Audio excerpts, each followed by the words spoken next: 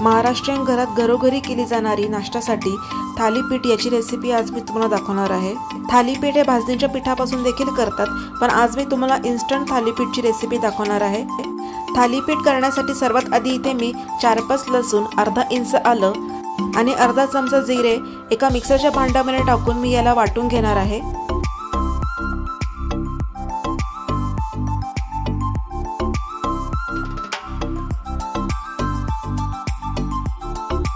अशा प्रकारे मी हे मिश्रण बारीक वाटून घेतलेलं आहे.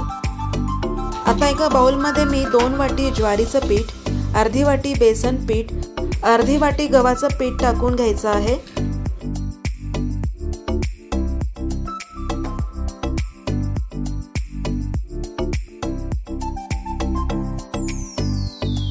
सोबतच यामध्ये एक वाटी बारीक चिरलेला कांदा अर्धा चमचा हळद पावडर अर्धा चमचा ओवा अर्धी वाटली चिरलेली कोथिंबीर अद्रक लसूण आणि हिरवी मिरचीची पेस्ट टाकायची आहे. चवीप्रमाणे मीठ टाकून आपल्याला हे चांगलं मिक्स करून घ्यायचं आहे.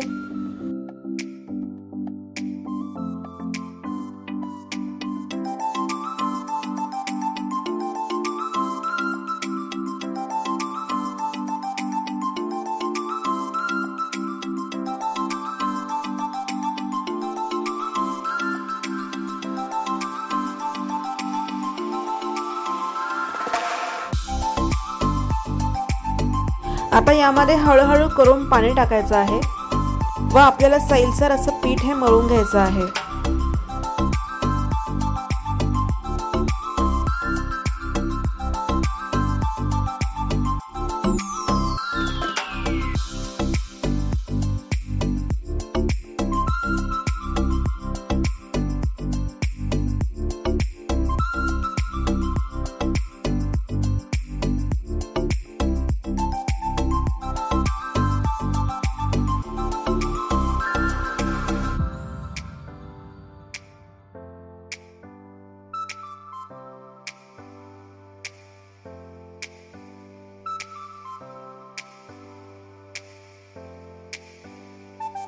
पीठ मळून झाल्यानंतर त्यावरती थोडासा पाण्याचा हपका मारून आपल्याला दहा मिनटं हे सेट होण्यासाठी ठेवून द्यायचं आहे.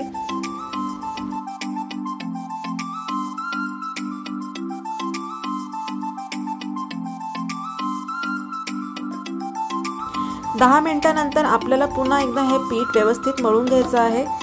पीठ मळताना थोडासा पाण्याचा हात देखील लावून घ्यायचा आहे. आता याचे मध्यम आकाराचे गोळे करून घेणार आहे मी. अशा प्रकारे थोडासा पिठाचा गोळा घेऊन आपल्याला तो व्यवस्थित गोल करून घ्यायचा आहे.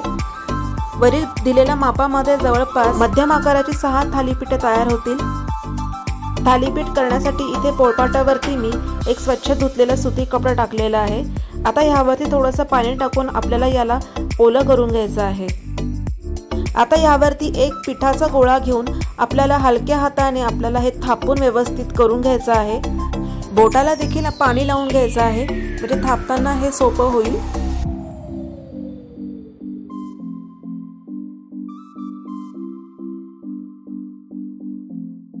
अशा प्रकारे हे थापून झालेलं आहे. आता एका पॅनमध्ये थोडंसं तेल टाकून आपल्याला चांगले गरम करून घ्यायचं आहे. तेल पूर्णपणे गरम झाल्यानंतर आपल्याला हे थालीपीठ टाकून घ्यायचं आहे. थालीपीठ टाकताना तुम्ही सुती कपडा डायरेक्टली तव्यावरती ठेवून द्यायचा व हलक्या हाताने कपडा हा बाजूला करून घ्यायचा.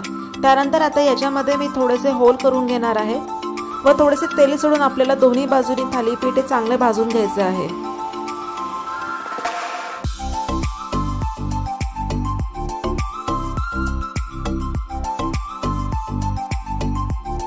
सोनेरी रंगावरती आपल्याला दोन्ही बाजूने थालीपीठ भाजून घ्यायची आहे.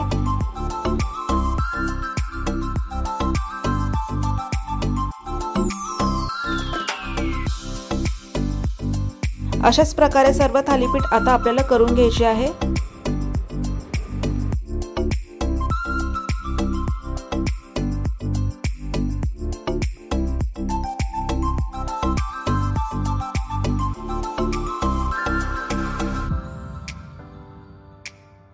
गरमागरम थालीपीठ हे लोण्याबरोबर किंवा दह्याबरोबर व आवडत असल्यास सॉसबरोबर देखील तुम्ही सर्व करू शकता.